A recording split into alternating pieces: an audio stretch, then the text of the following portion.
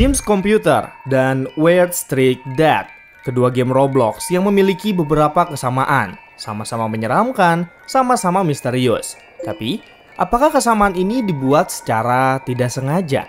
Atau kedua game ini memang sudah direncanakan untuk berkaitan satu sama lain?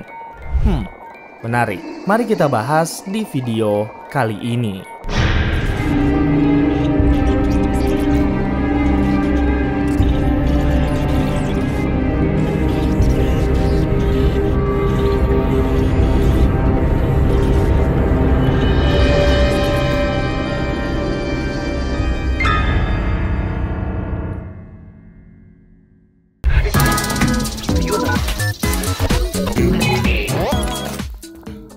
Oke, halo teman-teman Roblox dan Miminers. Selamat malam dan selamat datang kembali di video Creepypasta Roblox. Dan di video kali ini Mimin akan membahas tentang dua game Roblox yaitu Jim's Computer dan Weird Streak Dead. Sebenarnya ada satu lagi game bernama Resident Massage yang juga katanya berkaitan di game Roblox ini. Dan untuk bisa lebih paham tentang pembahasan kali ini, Mimin saranin kalian untuk tonton dulu alur cerita dari ketiga game ini. Mimin udah bahas ketiganya, kalian bisa cek aja di sini ya. Oke, di sini Mimin bakal coba cari teori atau beberapa kesamaan dari ketiga game ini. Sebenarnya, awalnya Mimin gak kepikiran, tapi karena banyak dari kalian yang komen di video Mimin, jadi langsung aja kita bahas di video kali ini. Yang udah nungguin video ini, kalian coba like dulu videonya ya. Kalau sudah, langsung kita mulai ke pembahasannya. Sebelumnya, seluruh isi video ini tidak resmi ya Miminars, tidak salah dan tidak benar juga. Ini hanyalah sebuah teori menurut Mimin dan beberapa sumber yang tidak resmi berkaitan dengan semua game ini. Kalau kalian mau berteori juga, Mimin silahkan kalian berteori di kolom komentar. Langsung aja kalian tulis, oke? Okay? Yang paling masuk akal akan Mimin pin, oke? Okay?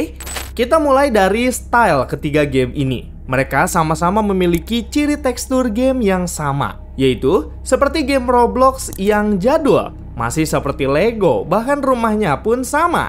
Karakter kita di ketiga game ini adalah noob. Ini kayak game zaman dulu pada saat Roblox belum sebagus sekarang. Dulu banyak banget game Roblox yang menyuruh kita untuk menggunakan avatar Roblox noob.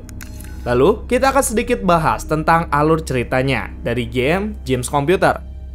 Di sini diceritakan kalau kita baru saja membeli sebuah komputer dan kita selalu mengecek komputernya setiap hari. Lalu membaca kalau ada kebocoran tangki kimia di kota Robloxia dan beberapa berita tentang orang hilang dan dia pun mengalami kecemasan yang berlebihan. Nah, kalau di Weird Streak Dead ini membahas tentang kita, seorang anak yang harus tidur dan bersembunyi dari ayah kita yang dirasuki oleh seseorang yang jahat.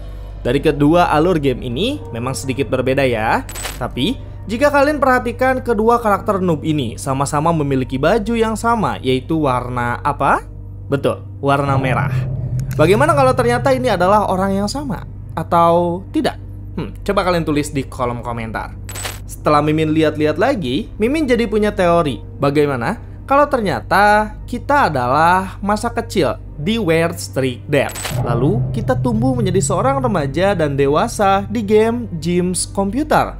Hmm, sepertinya menarik juga nih. Dia secara tidak sadar jadi memiliki rasa kecemasan yang tinggi dan selalu waspada.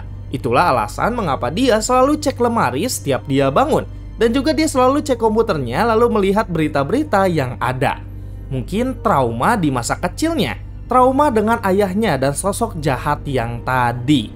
Hmm, masuk akal nih.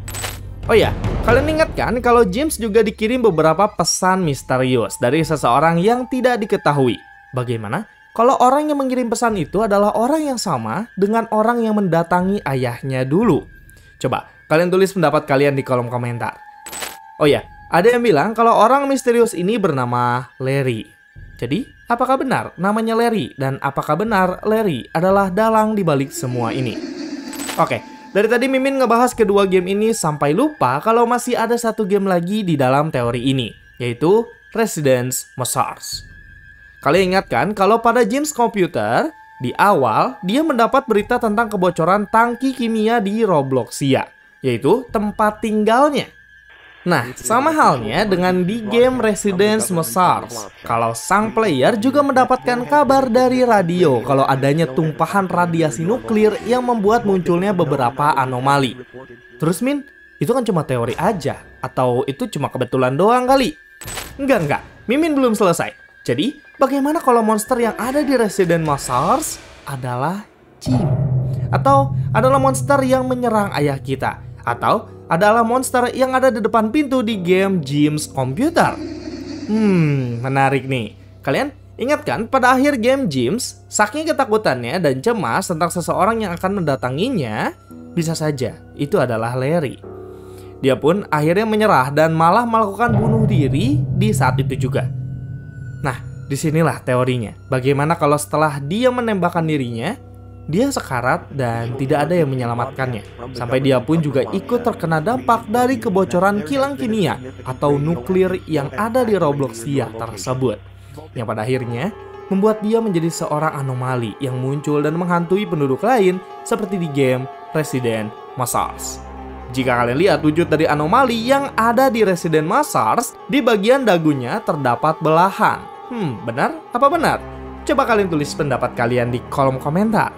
Jadi, menurut teori Mimin, ketiga game ini berkaitan. Timeline gamenya adalah pertama dimulai dari game Weird Street Dead, lalu dilanjutkan ke James Computer, dan diakhiri dengan game Resident Mars.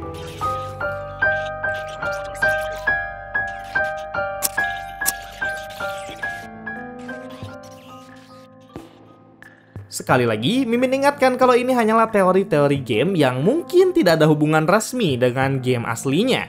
Bahkan, developer dari beberapa game itu aja berbeda kan? Gak ada yang sama, dan sudah pasti mungkin tidak berkaitan. Ini buat seru-seruan aja, dan tidak ada yang salah, lalu tidak ada yang benar juga. Menurut kalian gimana? Kalian tulis aja di kolom komentar apakah kalian setuju dengan pendapat Mimin atau kalian punya timeline dan teori lain menurut kalian sendiri. Kalian bisa jelasin di kolom komentar. Oke Miminers, cukup sekian dulu pembahasan di video kali ini. Terima kasih untuk semua Miminers yang sudah menonton video ini sampai akhir. Jangan lupa, yang mau request pembahasan tentang Roblox, kalian tulis di kolom komentar dengan hashtag bahasmin. Seperti biasa, dan selalu Mimin ucapkan, jadilah Miminers yang cerdas, oke? Terima kasih ya Miminers yang sudah menonton video kali ini. Jangan lupa kalian like video ini ya, dan share ke teman-teman kalian kalau video ini bermanfaat. Kira-kira Kalian mau Mimin bahas apa lagi nih? Kalian bisa request informasi, creepypasta, ataupun alur cerita. Kalian tinggal tulis aja di kolom komentar di bawah dengan hashtag bahasmin.